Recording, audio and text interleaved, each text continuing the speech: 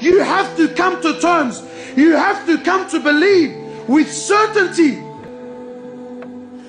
that every single human being, whoever lived, whoever's living, and whoever is to come and live on this earth, wallahi, every single human being, every single jinn, every single animal that walks on this earth, every single bird that takes the flight in the sky, every single fish that swims in the oceans of Allah Azza wa Jal, wallahi, every single land, every single country, wallahi, with all their governments and all their military force and all their might and all their science and all their money and all their know-how, all with the exception of none, every country, every tree, every grain of sand, every mountain, every river, every ocean, every ocean, wallahi, every star, every sun, every moon, every single planet,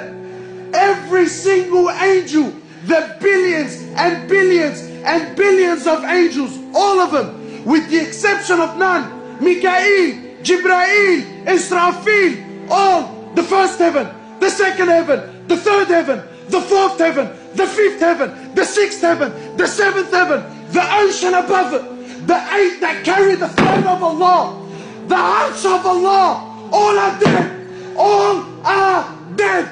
Nothing moves, nothing stops, nothing makes, nothing breaks, nothing gives, nothing takes, nothing rises, and nothing falls, nothing harms, and nothing benefits. In Allah. That everything is dead, everything. Except Allah.